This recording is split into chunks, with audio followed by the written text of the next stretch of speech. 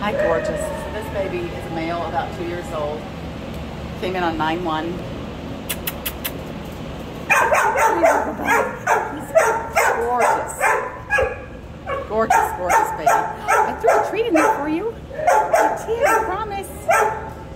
I threw a treat. There's another one, Pumpkin. Look how beautiful he is. He is located at Animal Care Services in San Antonio, Texas. ATM There it goes.